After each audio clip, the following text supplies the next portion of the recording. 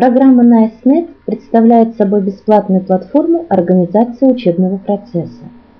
Необходимо заметить, что данная платформа является англоязычной. Чтобы зарегистрироваться, нажмите ссылку Create a Class с правой стороны страницы. Далее видите обязательную и дополнительную информацию о себе. Обратите внимание студентов или учеников, что при регистрации на данном сайте они должны указать настоящее имя и фамилию, для того, чтобы впоследствии эти данные были корректно отображены на странице список класса. Также обратите внимание, что если вы захотите создать еще один класс, повторно регистрироваться не нужно. После того, как вы вошли на страницу, с левой стороны вы можете увидеть меню, которое отражает название вашего класса и возможности платформы для выбранной вами дисциплины.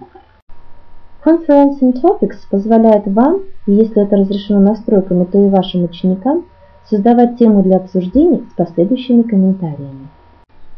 На странице Link Sharing вы и ваши ученики могут размещать интернет-ссылки по избранным вами темам. Список студентов с их электронными адресами находится на странице Class Members. На следующей странице вы можете оставлять задания, делать объявления, а также задать функцию напоминания о необходимости их выполнения за определенное количество дней. Данное напоминание приходит на электронную почту всем студентам, которые зарегистрированы в данном классе. Если вам необходимо отправить сообщение, вы выбираете графу Send a Message. У вас есть возможность выбора отправки сообщения всем или отдельным ученикам класса. Далее необходимо ввести тему и текст письма.